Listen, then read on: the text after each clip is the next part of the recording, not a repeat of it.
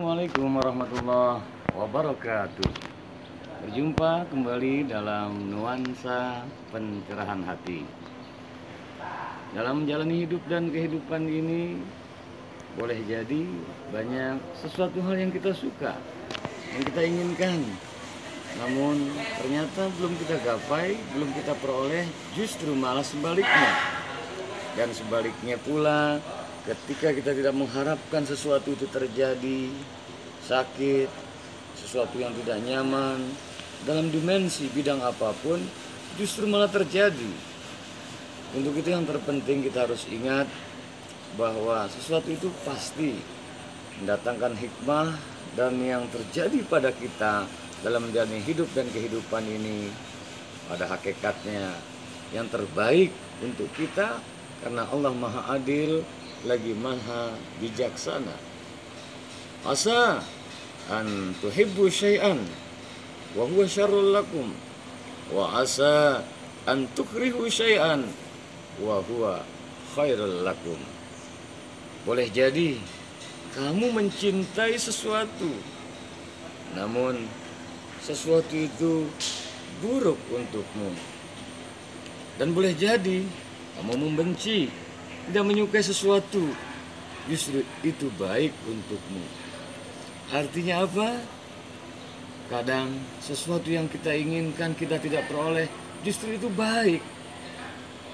Dan jika ada sesuatu yang tidak mengenakan, boleh jadi itu pun nambah kebaikan dan yang kita sukai terkadang itu juga di dalamnya kalau tidak kita benar-benar mampu mensikapinya terdapat sebuah keburukan-keburukan. Untuk itu indah hidup ini. Apa pun yang terjadi, ketahuilah ketika kemudahan, ketika kesuksesan, ketika kelapangan, sehat Allah berikan pada kita itu anugerah dari Allah Subhanahu wa taala dan jika kita diberikan sesuatu hal yang tidak nyaman, sakit, kekurangan dalam hal materi dan sebagainya, itu terdapat rahmat di sana.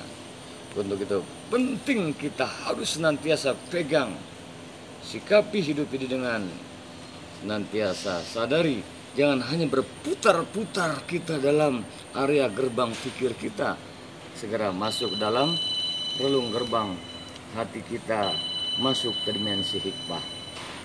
Semoga Allah Subhanahu wa taala menjadikan kita hamba-hamba yang mampu memetik hikmah apa pun yang terjadi. Karena itu hakikatnya Allah memberikan kebaikan yang melimpah ruah pada kita. Yu'til hikmata may yasha wa may yu'tal hikmata faqad utiya khairan katsira. Allah memberikan hikmah kepada siapa yang dikehendakinya dan bagi siapa yang telah diberikan hikmah oleh Allah Subhanahu wa taala sungguhnya dia telah diberikan kebaikan yang melimpah ruah banyaknya semoga Allah senantiasa cerahkan hati kita tiada hari tanpa pencerahan hati cerahkan hati ini sikapi hidup ini dengan arif bijaksana dan mampu memetik hikmah di balik segala sesuatu yang terjadi untuk kita, keluarga, lingkungan, bangsa dan negara dalam skala apa pun. Mainkan bukan hanya logika, masuk ke dimensi terdalam, gerbang-gerbang hikmah dalam nuansa spiritual tentunya harus berdimensikan tauhid pada Allah Subhanahu wa taala. Amin ya rabbal alamin. Wallahul muwaffiq ila aqwamit thoriq. Walafu minkum. Assalamualaikum warahmatullahi wabarakatuh.